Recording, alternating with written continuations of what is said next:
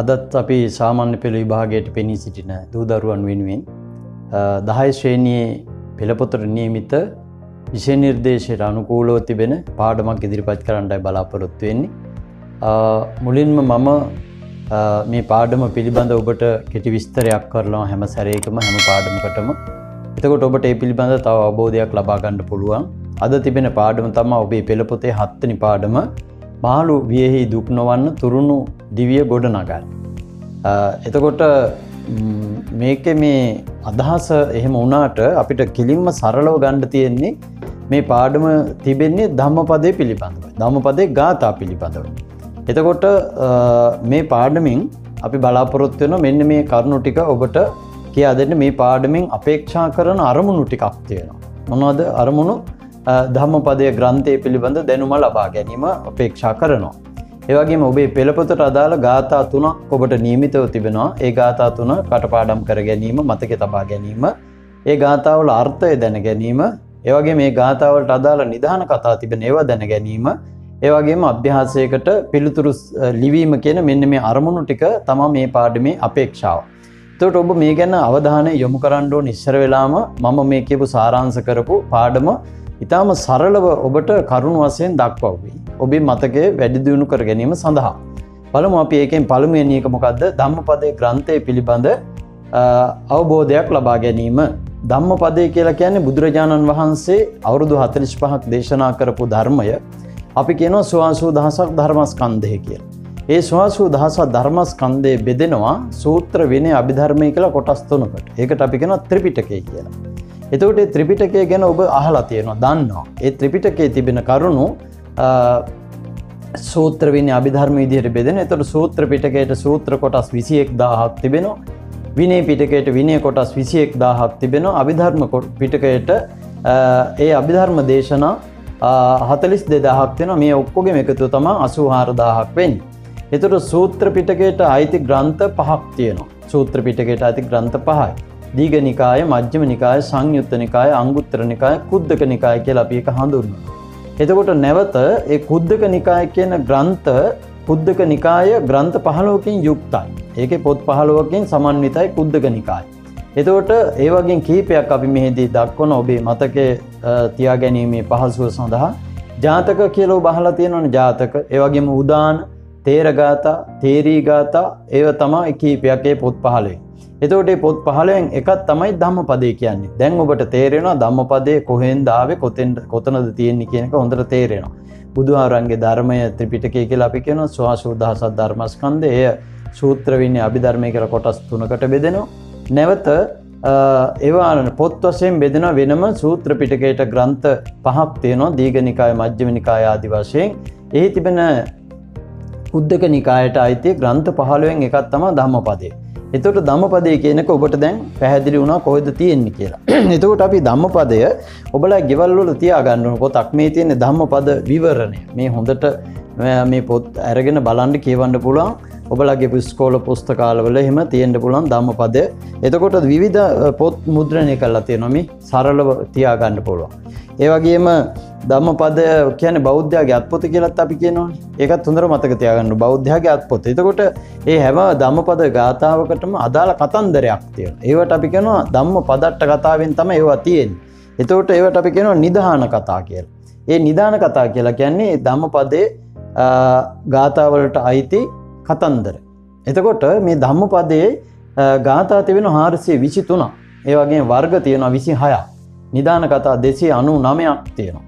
එතකොට මේ මේ විශාල ග්‍රන්ථයකින් ගාථා තුනක් තම ඔබට උගන්වන්ට බලාපොරොත්තු වෙන්නේ ඔබේ පෙළපොතට අදාලව දැම් බලමු අපේ ගාතාතුන මොනොද කියල්. ඔබේ පෙළපොතට අදාලෝ ගාතාතුනක් තියෙනවා. ය කටපාඩන් කරගන්නඩන මොක දෙකොළ හෙදී සාමාන්‍ය පෙළි භාගයට මේවා ඔබෙන් මතකෙන් ලියන්ට සිද්ධ වෙනවා. සමට මුල් පදේවාගේ දීලා මේ ගාතා සම්පූර්ණ කරන්නට දෙන්න පුළුවන්. බලමු අපේ තියෙන ගාතා මේ සමහර දරුවන්ට මේ ගාතා නිවැරදි උච්චාරණය කරන්නත් බෑ. එනිසා උච්චාරණය කරන්න පුරුදු එන්ඩෝ බලමු. අචරිත්වා බ්‍රහ්මචරියන් අලද්ධා යොබ්බනේ ධනම් ජින්න කොංචාව ජායන්ති කීනමච්චයව පල්ලලේ. එතොට මේ ගාථාවේ තේරුම තමයි මෙලෝ පරලෝ සැපවත් බව මෙන්ම කෙලවර දුකින් මිදී නිවංශුවය උදාකර උතුම් ශීලාදී පිළිවෙත් පුරන්නේ නැති. තරුණ කාලයේදී එහෙම පුරන්නේ නැතුව ධනය එක රැස් කිරීමකින් නැතුව ඒ වගේම තියෙන ධනෙ වියදම් කරගෙන ඉන්න තැනැත්තා පසු කාලීනව වතුර සිඳී ගිය විලක් දිහා බලාගෙන ඉන්න කොස්වා ලිහිනියකුට සමාන කරලා තිබෙන. ඒ තරම් එයාගේ මහලු කාල ජීවිතය පසුතැවීමට ලක්වෙනවා කියලයි බුදුහාන්දුරු දේශනා කරන්න. ඊළඟ ගාතාව අචරිත්වා බ්‍රහ්මචරියන් අලද්දහා යොබ්බනේ දනං සෙන්ති චාපාති කීනාව පුරානානී අනුත්තුනා. ඒ ගාථාව තේරුම තරුණ වියේදී කළකී දෑ සිහිකරමින් සුසුම්ලනවා සමහරයි තරුණ කාලයේදී හොඳ දේ කරන්න නැතුව නරක වැඩ කරලා දරුවන්ට සලකන්න නැතුව ඒ වගේම හරි හම්බ කරගන්න නැතුව ගෙවල් දොරවල් හදාගන්න නැතුව ඉඳලා පස්සේ කාලේ සුසුම් හෙලනවා. අන්න ඒ ගාතාවේ අදහස අපි මේදි දක්වලා තිබෙනවා මුල් ටික ඒ විදිහමයි. එතකොට ශෝක කරනවා පසුතැවෙනවා කියන එක තමයි ඒ ගාතාවෙන් කියවෙන්නේ. ඊළඟට මේ අචරිත්වා බ්‍රහ්මචාරියන් කියන ගාථාව දිහා ඔබ බලන්ට නැවතත් බලනකොට ඔබට තේරෙනවා මේ ගාථාව නිධාන කතාව. ඒකට ගාත නිධාන කතා කියලා කියන්නේ ගාථාවත් දේශනා කරන්නට හේතුවෙන කතන්දරේ පසුබිමට අපි නිධාන කතාව කියලා කියල. දයි අපි බලමු අචරිත්වා බ්‍රහ්මචරියන් ගෙන ගාථා දෙකේ නිධාන කතාව මොකක්ද කියලා. බරණැස් නුවර මහදන සිටු මහදන නමින් සිටුවරෙක් හිටිය ඒ සිටුවරගෙන මහා දන මොකද එයාට දන ධන සම්පත් තිබුණ සල්ලි භාගය හොඳට තිබුණ. ඔහුට හිටිය එකම පුතා. දැන් මේ සිටුවරයන්ට අසු කෝටයක් ධනය තියෙනවා. මේ එකම පුතා නිසා පුතාට උගන්නන්ට මහන්සිගත්තේ නෑ උගන්නන්ට උදන්දුනේ නෑ මොකද පුතා මහන්සි කරවන්නේ උගන්නන්නේ නෑ සැරවැර කරන්නේ නෑ නිදහසේ කෙලිදලින් ඉන්ට ඉඩ දුන්න මේ අම්මයි තාත්තයි. ඊට පස්සේ මොකද කරන්න? මේ අම්මයි තාත්තා එහෙම ඉන්ඩ ඉඩ දුන්නාට පස්සේ මේ පුතා තරුණ වියට පස්සු පත්වනාට පස්සේ ඒ නගරයෙන්ම ඒ වගේම ධනයක් තියෙන කුමාරිකාවක් විවා කරලා දුන්න. ඒ කුමාරිකාවත් ඒ වගේ. කුමාරිකාවත් බැලින්නම් ඉගෙන ගත්තේ නෑ. සල්ලි ධනය නිසා ඔය ඒ වගේ මොසපත්වල හිටිය. දෙමවපියෝ උනන්දු කෙරෙවෙත්න අරය කම්මැලිකමින් කාලය ගත කරා. අන්තිමේට මේ දෙදෙනට දැන් අසූ කෝටි අසු කෝටි ධනය තියෙනවාන. ඒ ඔක්කෝම වියදං කර දෙන්න. විවාහ වුණට පස්සේ අම්මතාත්ත නැති වුණට පස්සේ හොඳට සෙල්ලං කර විනෝදුන සූදුවට ගියා ඒවගේම නැටුම් ගැවුම් වැයුම් බලලා ජීවිතේ අන්තටෙන් පිරිහෙන්ට පටන් ගත්තා. පිරිහෙන්න ගමම්ම ගෙවල් දොරුවල් පවා උකස් කරගත් ඒවා මොකොත් ඉතුරුණනේ අන්තිමට මේ දෙන්න හිඟාකන පිඟාන කැරගෙන පාර හිඟා කනු. හිඟා කමින් පන්සලටත් කිය ගෙහිල්ලා විසි කරන දානි ඇරගෙන කණ්ඩ ඉල්ලනකොට බුදු හාන්දුරකව මේ දෙදෙන තරුණ කාලයේදී හොඳ දේවල් කළෙත් නෑ බඹසර බ්‍රහ්මචාරයාව හැසිරුණේත් නෑ ධනය හම්බ කරෙත් නෑ මේ දෙදෙන විශාල ධනයක අයිතිකාරයෝ කියරමින් මේ අදහස ඉස්මතු වෙන විදිහට මේ ගාථා දෙක බුදුහාන්දුරු දේශනා කළා. ඊළඟ ගාථාවදයා බලන්ඩ ඔබ අවධානය යොමු කරන්න ඔබට තිබෙන්නේ ගාථාවට විශේෂ නමක් තේරම්. යසස වැඩෙන කරුණු හත ඇතුළත් ගාථාව එක තම කියන්න. යසස වැඩෙන කරුණු හත ඇතුළත් ගාථාව නම් කරන්න ගාථාව ලියන්න එම තමයි ගාතාව තිය එම නැත මුල් පදේ දෙන්න පුළුවන්ගට උට්ටානවතෝ සතිමතෝ කියන ගාතාව සම්පූර්ණ කරන්න. ඔය පොයි එකින් ආවත් ඔබ උත්තර ලියන්න බලාගෙනින්ඩුව. බලන්ඩ ගාතාවදයා උට්ටහනවතෝ සතිමතෝ සුචිකම් අස්ස නිසම්මකාරිනෝ සං්‍ය තස්සච ධම්ම ජීවිනෝ අපමත්තස්ස යශෝභි වඩ්ඩති. ඒ යශෝභි යසස කියන් යශෝභි වඩ්ඩතිගන්න යසස. යසස වැඩෙන කරුණු හත ඇතුළත් ගාථාව ලියන්දි කියලා එම නැත්තයි ගාතාවය මේකනම් අනිවාරෙන්ම කටපාඩන් කරන්නඩුන හැම සැරේකම වාගේ මේ ගාථාව එනවා. මේ ගාථාව විශේෂ කරුණු කීපයක් තියෙන නිසා නිතර නිතර විභාගවලට අහලා තියෙනවා. එනිසා ඔබට අවධාන යොමු කරන්න මේ ගාතාව මේ සැරෙත් එෙන් ඉඩ තියෙනවා කියලා අපි අනුමාන කර. හොඳ බලමු අපි ඒක අසත වැඩෙන කරුණු හත ගාතාව දැනගෙන කරුණු හත දැනගන්න නීළඟට.